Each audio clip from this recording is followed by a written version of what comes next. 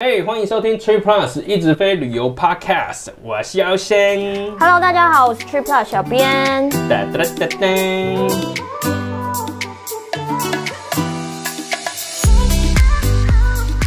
哎，小编，我问你，你还记得你上一次搭飞机什么时候吗？我最近有搭国内线算吗？我很兴奋。国国内线哦，对，是有多兴奋？就是飞起来之后，因为太久没飞，就是飞起来的时候我就有一种我我飞起来了 这样的感觉。OK，我大概有感受到。不过我我刚刚问的是出国，那那不算出，我是说出国的。就是因为已经超过一年以上没有出过国了，没错。而且我最后一次居然是去超级近的冲绳。呃，冲冲绳呃，好也算出国了。那飞机上有没有最恐怖的小小孩？当然有啊，拜托我，我不知道大家知不知道，如果不知道的话，你今天即将会知道，就台湾冲绳这条航线，飞机上有不止一个小孩的几率几乎是百分之九十九点九九。真的假？可是因为我觉得，因为飞行时间很短啦，就还好，就嗯，嗯就过去了，嗯，就过去了，就对啊是忍一下就是再了。忍一下。呃，等一节都鬼啊。嗯 OK，那如果长城线呢？你是不是觉得哦，shit，哇塞？那个我没有办法啦。但是你有听过空姐兼保姆这种东西吗？如果是这样的话，我会觉得很爽，因为可以全部丢给空姐，而且都是空姐的责任。告诉你，真的有这个东西，我没有唬烂你。不过你搭飞机比较怕乱流还是小孩？虽然我身为一位人母，空白出来哦。嗯，都下。而且我我说真的，因为我蛮蛮胆小的，我是比较怕乱流啊。但是如太出来你胆小了，真的。OK，好啊，嗯好，但是我我如果短时间像冲绳那种一个多小时那样子，我觉得还好。可是如果是长城线，然后密闭空间，大家一直哭一直闹，然后尖叫，我真的哦、这个。还有还有一种我还没有讲完，哦就是那种是，就隔壁刚好做一个身上，你知道，就是味道很很浓。我不会说别人臭，因为这个很失礼，味道很厚啦。很厚很很 heavy，相当 heavy 的那一种。那个还有，我怕人很多。还有那种自己基本上，我觉得他有瑜伽底子，因为他坐着的时候脚要超开的，膝盖一定要碰到别人那一种，我都很怕。就很像好像有隐疾，就是不得不张开，就是。我一定要开，开到最开。反正这种经验，说真的，如果要聊的话，我们可以可以聊一整天。今天我们先来聊一个，就是可能算是最够狼玩的小小孩。你有没有什么恐怖的经验？首先，让我转换心情，用一个很沉重的语气跟大家分享这要个要。讲鬼故事是不是也没有，但是很可怕。？OK，因为去美国就是你必须要搭十几个小时，嗯，然后我就被孩子们的 combo 技大家连续攻击一个多小时，每一次都一个多小时，连敲就对了。而且是 couple times，对。然后我不知道他们就是婴儿间有一种什么 connection 还是什么的，他们可能在哭的时候有一点其实在沟通说，哎、你熬几雷哦，你熬几雷哦，你哭我哭我哭他哭，然后哦，真的大家都看，真的很想哭哎、我告诉你，这种经验我也有。那时候还会出差去美国波特兰的时候，那一次出差就是我一上飞机，你知道，一看就知道错赛，因为你一上飞机你就看到第一排怎么会满满的人，经济舱啦，嗯嗯嗯第一排满满的人，那是代表什么？挂篮位满满的，知道哦，看了就知道哦，这个不好受。然后我坐下来的时候，看旁边，哦 shit，也有一组。然后你在正在看了旁边的时候，后面也有小朋友的声音，哇，丢大奖。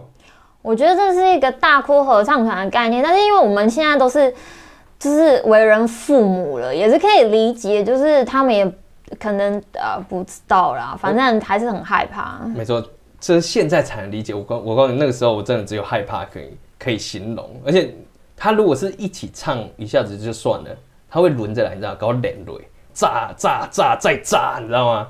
就是我刚刚讲的 connection，你熬结哦，你熬结嘞哦，这样子的概念啦，他们就这样。对啊，那就很衰啊。可是话话位你又不知道旁边会有谁，我觉得有时候搭飞机就是靠一个人品啊、运气啦。但是嗯，今天我们可以分享一个方式，或或许可以多多少少避免，就是我们可以往前坐。是要坐到哪？就商务舱或头等舱。我讲的好像一副我很常搭一样，其实对啊我 我一次都没有搭过呀。嗯，听起来好像很像很常搭呢。对，那你从来都没有搭过哟。就我觉得就正好商务舱、头等舱的是比较少，所以可能风险就会比较小一点啦。这个就是我刚刚讲空姐兼保姆这个，就是之前我看到有人，他好像是用 Chase，就是美国那个信用卡，嗯，Chase 信用卡的点数转大韩航空去换那个头等，他是从美国飞亚洲，所以是个长城线的，就是很爽。那整整路就是空姐可以可以帮忙带小孩，好像是说空姐带动唱带小孩玩，然后还有轮流拿着玩具逗。然后我记得他有说他吃饭的时候小孩刚好哭，他本来要去抱，啊，空姐就把他接走。悠悠姐姐，没错，我不知道说这个空姐到底是是不是都有都有考那个保姆证照，然后这个头等舱就是机票尬保姆这样子。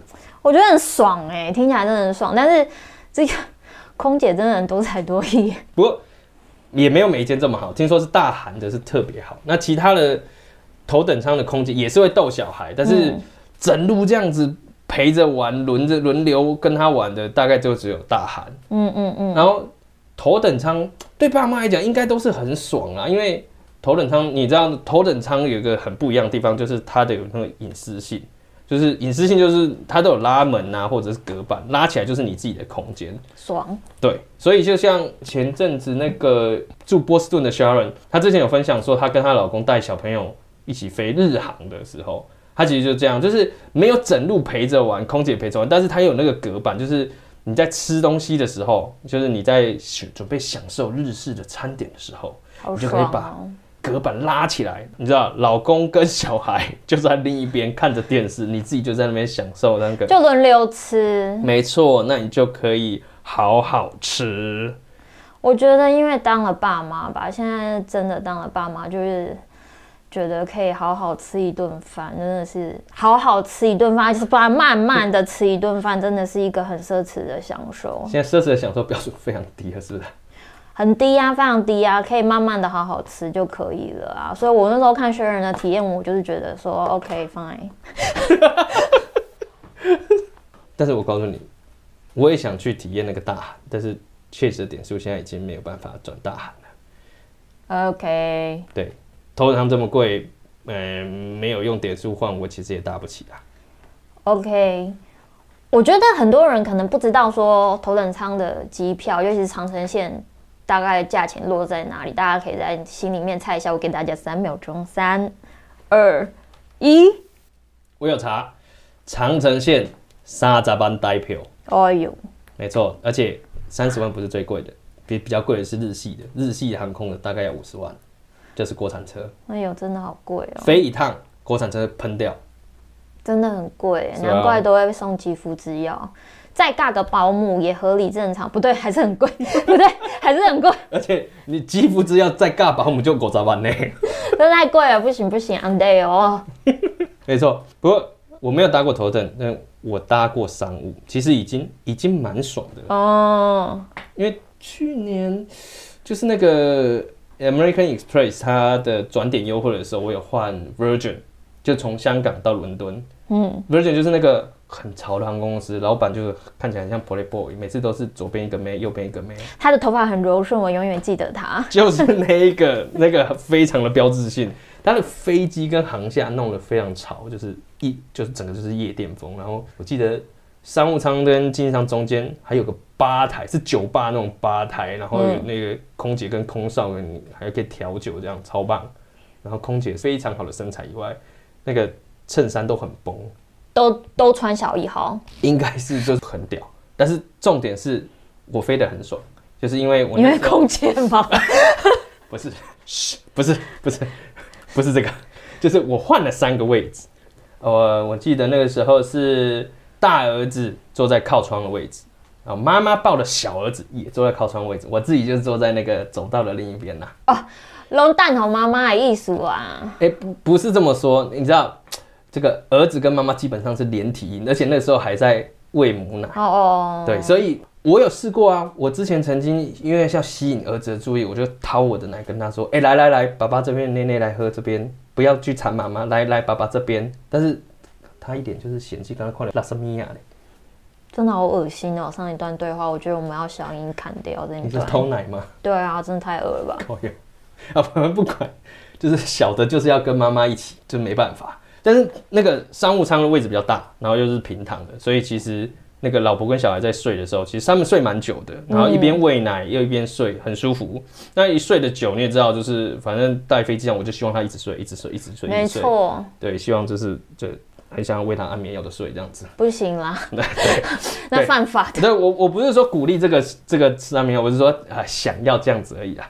但是对，就是他如果睡更长，那我们就是爽的时间就多了这样子。对，但是我还有另一个要搞定，就是哥哥。嗯，那时候他四岁多，一个人坐商务舱，其实他会怕啦。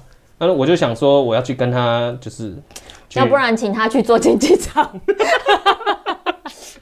其实我觉得这个方法蛮不错的。等他再大一点，他就自己去做经济舱。不过就是我要挤进去跟他坐一个位置，其实也不太行啊。因为你们两个都很大只，对不对？嘿对我是是这样没有错。而且你越来越大只，靠腰，呃，反正就是它的位置很厉害。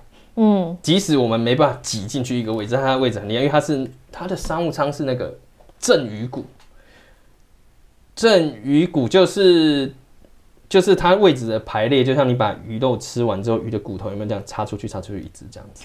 哦，没关系，我们会在下面附上那个详细体验文，大家看照片可能比较好理解，因为不知道他讲啥小。就对，反正就那样。那呃，重点是你可以想象你坐在沙发上，然后前面有个翘脚椅，它它它其实就像这样子。嗯哦，那那个椅子是可以坐人的，然后是有安全带，就安全带其实很重要。为什么？因为当有那个警示灯有没有？叮，对，那个亮起的时候，你不用走回座位哦，你是可以直接在那边扣着，继续跟你的小孩子在那边玩。那中间有一个桌子，所以你可以抽出来，所以它就很像那种情人雅座。但是我跟儿子叫做情敌雅座，我觉得听起来好可怜哦，他一定比较想跟妈妈做。不管啦、我还没讲完，就是那个位置，只要是反正不是 不是起飞或下降，你都可以坐在那边，就你不用回去。所以你吃饭的时候也可以在那边。那我看到很多爸妈就是在那边跟小朋友画画啊，然后或者是玩游戏。我那一次我印象没错的话，应该是有四组爸妈，其实运气真的很多哎、对啊，运气也是很好呢。但是吵闹的声音其实真的没有很多，嗯，听起来算是一个非常美妙的飞行体验哎、真的啊。而且我不是说那个商务舱跟经济舱中间有个吧台吗？嗯，那边就是算是有个空间。那你知道，像我家那个小儿子，其实他是会坐不住，他醒来的时间虽然没有很长，但是他很容易就坐不住，所以你要带着他就是在那边绕圈圈。对，会走来走去。对，所以我就带着他绕到那个吧台旁边的时候，哦，刚好有一个外国的正妹也是在那边，对，在那边听起来是一个下流的故事，没有没有没有，我是只有在那边跟他拉塞而已。是 拉赛还是拉筋？我们现在老实说，拉阿包先不要听，拉个雕，没口音啊！我怎么知道？因为你说你太太一直在喂母奶，因为那个状态真的也是不好走来走去。反正那次经验真的是蛮好的。所以你你的意思就是说，带小孩就算是搭乘商务舱没有到头等，也是很熟悉的，就对了。对啊，真的。但是我还是希望能够大家看头等啦。当然啦，希望赶快可以飞。我说真的，我本来是对于带小孩搭飞机有一点恐惧，因为你知道那个美国康博机那一次，没错，对，听但听你讲完，应该可以等疫情结束之后，带着女儿冲一波试试看啊。冲一波。而且我告诉你，点数换商务舱真的很划算。嗯，之后有机会再多讲一点好了。今天我先聊到这里。如果大家还有想要听任何里程点数或是旅游相关的话题，就请不要客气，直接留言跟我们说吧。不要忘了也要订阅我们哟，baby。拜拜。所以你真的有遇过很恐怖的乱流啊？有啊，有一次也是出差，人整个腾空，好不好？超恐怖。是大怒神呢、对啊，我看旁边人真的有点飞起来，然后全部人哦尖叫这样子，然后尿真的就滴出来。